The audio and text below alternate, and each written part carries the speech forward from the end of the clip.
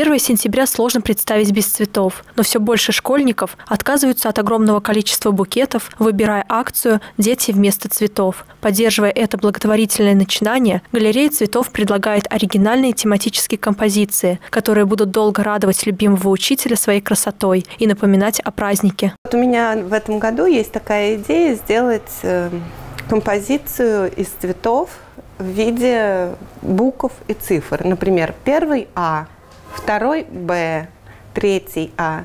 Это композиция из маленьких цветочков, и она будет стоять, допустим, у учителя на столе или еще где-то.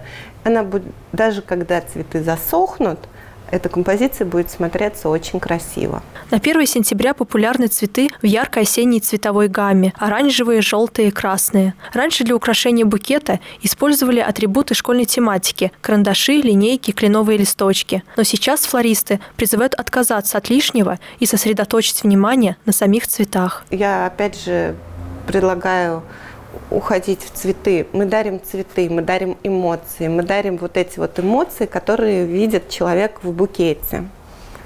И поэтому хотелось бы меньше лишних предметов в цветах меньше упаковки. Канал 16 и галерея цветов дарит букет в подарок. Для того, чтобы принять участие в розыгрыше, нужно быть подписанным на группы ВКонтакте, канала и цветочной студии, а также сделать репосты записи с информацией о розыгрыше. Победителя определят 30 августа. Хочу еще раз обратиться ко всем родителям и ученикам. Давайте поддержим акцию «Дети вместо цветов», поучаствуем в ней и дадим шанс деткам, у которых нет родителей или у которых нет возможности полноценно собраться в школу. Ведь дети – это наше будущее.